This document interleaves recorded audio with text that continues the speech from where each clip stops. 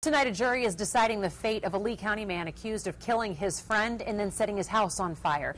Jury deliberations are now underway in the trial of Brian Casey. This after Casey himself opted to take the stand.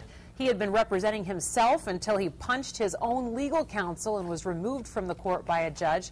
He's facing a second degree murder charge for the death of Ryan Vanderson.